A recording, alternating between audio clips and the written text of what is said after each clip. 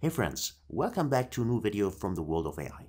In this video, I'd like to introduce a new method to you how you can chat with your documents locally, which means that we do not need to use OpenAI's ChatGPT for that, so there's no data breach, we do not upload our data there, we just do all of this locally with an open source model, and in this case, we use the new Llama 3 model. How can you do this? Well, of course, there are various ways, for instance, using LangChain framework, but in this case, we're going to go with Pandas AI. So let's get started. For that, of course, you need to install Pandas AI. So if you have not done that, then pip install it. And you also need to install Ollama because we use Ollama for using open source uh, Llama 3 model. So to get started, then I want to import pandas. So I go in here and say import pandas as PD right? Like that. I also import from LangChain and then community dot LLMs. I want to import, in this case, Ollama. So we use an open source model for that. And then from Pandas AI, Pandas AI, I will import the smart data frame. So import smart data frame is that thing called. So it's kind of a Pandas data frame, but smarter, as the name implies. So this is that. Now, next we need to load the data, and for that I'm going to use the sample superstore dataset. It is from Tableau, just in case you're familiar with the tool, and it's a free dataset which you can use in order to analyze the data.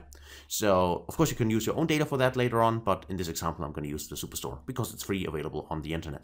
So, let's get started with that. Say, in this case, my data itself is equal to, and I say and because it's an Excel file, I need to use read Excel. Then it is a raw string, and let me just paste it inside. It's on my local hardware uh, my local desktop, so I can read it like that. And then now I have my data frame. I can also print it, so print and data.head, just to show you what it looks like.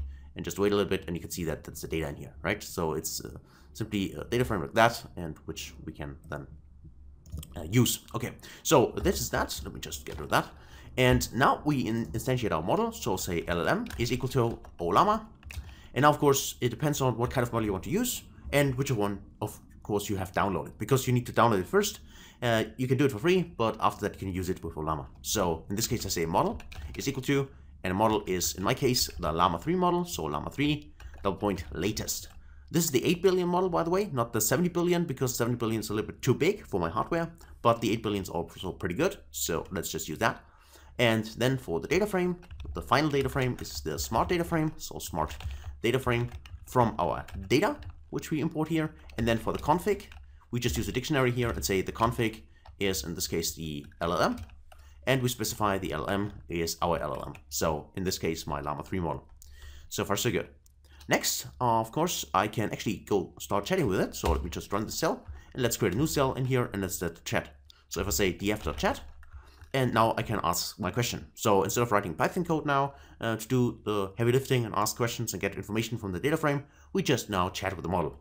So with simple language, let's say what is the total amount of sales then for the country uh, Germany, right? So Germany. So that should work. And now here, a question mark, and then I can run this query and wait for the result. So let me just run it.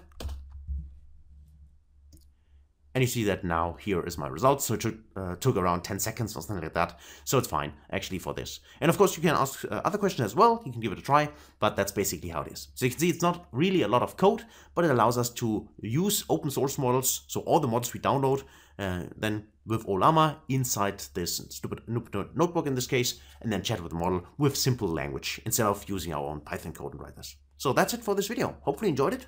Please give it a try yourself. If you got questions, feel free to ask. Also share your feedback regarding other models, and if you haven't done so far, please subscribe to the channel. Thanks a lot, take care, and I also appreciate a thumbs up. See you in the next one.